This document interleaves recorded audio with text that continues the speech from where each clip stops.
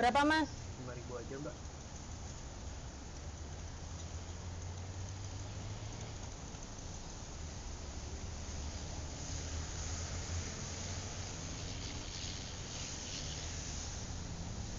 Tuh dompet saya hilang mas.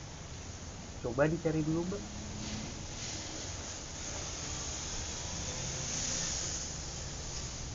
Gak ada mas. ya udah dicari dulu aja mbak Saya cari sebentar ya. iya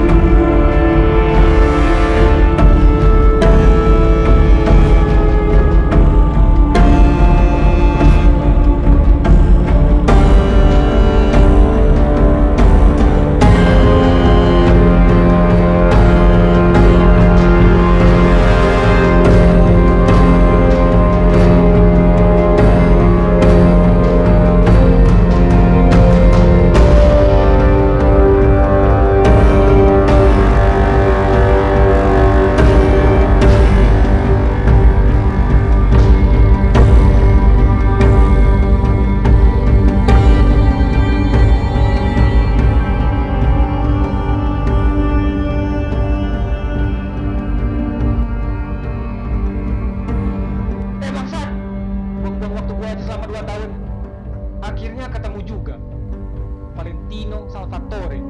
Nopal, Nopal. Dari dulu nggak pernah berubah ya. Ngapa-ngapain selalu aja lama. Bacot! Gue bukan gue yang dulu, yang selalu lo tindas. Ampun, Pal, ampun, ampun. Ya, anjing lo. Gua kira lo udah tahu masalahnya. Kenapa? Lu mau gue balikin benda pusaka ini?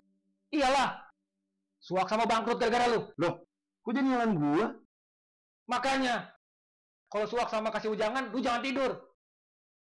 Lu tahu gak, harta su berkurang tiap lu pakai pusaka itu.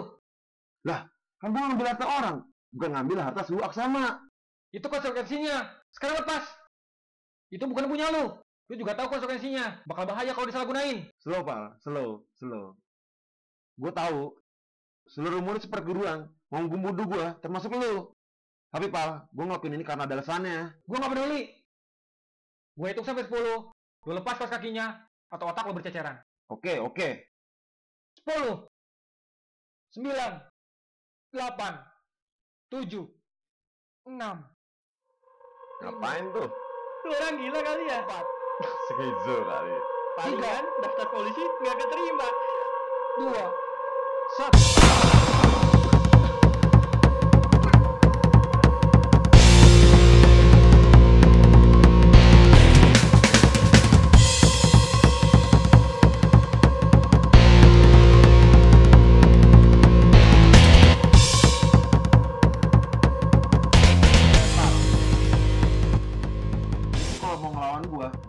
Sendirian.